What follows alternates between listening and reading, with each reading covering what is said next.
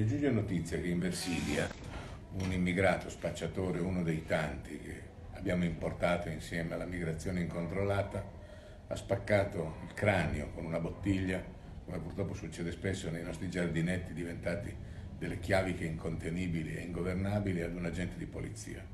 A lui va il nostro sostegno incondizionato e soprattutto la considerazione che il calcolo cinico e brutale col quale si è voluta realizzare in Italia una migrazione incontrollata che ha alimentato le forme peggiori di mafia, come la mafia nigeriana, o lo spaccio dei magrebini, o la totale mancanza di controllo del territorio, sta rivelandosi in tutta la sua cruda e dimensione cinica della realtà.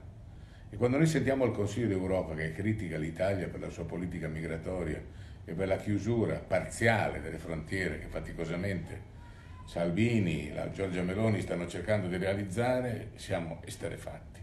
Io credo che gli italiani debbano essere richiamati con forza al realismo, al buonsenso, alla saggezza.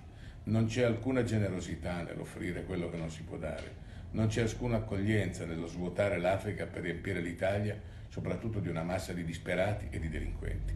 Tutto ciò non è più tollerabile.